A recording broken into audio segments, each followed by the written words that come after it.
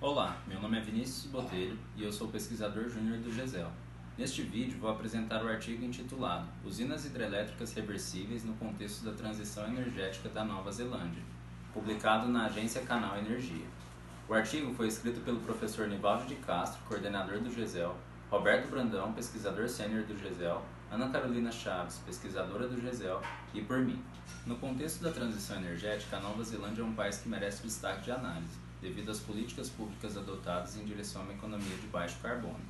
Nesse sentido, a atuação do Estado é central e o governo está empenhado em tornar o país um líder mundial em ações de mudança climática.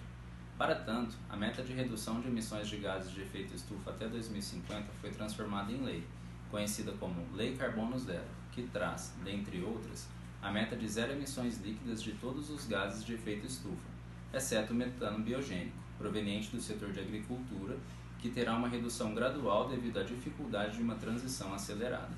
Assim, espera-se que, com a eletrificação dos setores, o aumento crescente da demanda energética e o aumento da participação das energias renováveis intermitentes, irão surgir uma série de desafios regulatórios, operativos e econômicos para o sistema elétrico neozelandês.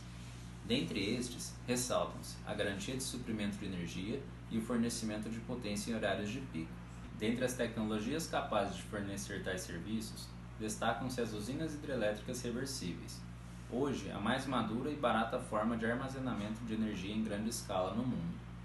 As usinas hidrelétricas reversíveis são fontes hidrelétricas dinâmicas que permitem o armazenamento de água em horários com pouca demanda para posterior geração de energia em horários de ponta. Essa dinâmica de funcionamento pode ser utilizada para ciclos de operação sazonais ou até plurianuais. A versatilidade dá às UHRs um papel central nos estudos da Nova Zelândia, haja vista a crescente e promissora inserção de fontes renováveis intermitentes e a necessidade de solucionar os problemas gerados por anos secos, que podem ser ainda mais impactantes em um futuro de maior dependência do abastecimento elétrico, coincidindo com períodos de inverno. Atualmente, há um grande projeto em estudo de implantação, cujo investimento feito pelo governo foi da ordem de 30 milhões de dólares. Neste projeto, localizado na região de Otago, no rio Onslow, a UHR teria potência instalada de 1 GW e uma capacidade de geração de 5.000 a 7.000 GWh. Com essas características, seria possível armazenar uma quantidade de energia equivalente à soma de todas as usinas hidrelétricas do país. Em termos comparativos, assim como o Brasil, a Nova Zelândia é um país com elevado potencial energético, principalmente de fontes renováveis, e possui ainda um extenso sistema de linhas de transmissão, que interligam as ilhas norte e sul do país, garantindo melhor aproveitamento energético.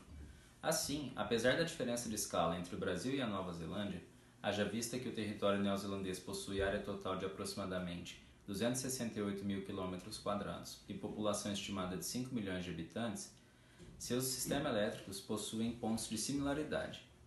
Isso faz com que esse caso apresente lições estratégicas para o desenvolvimento dessa tecnologia no sistema elétrico brasileiro. Para ler o artigo na íntegra, acesse nosso site.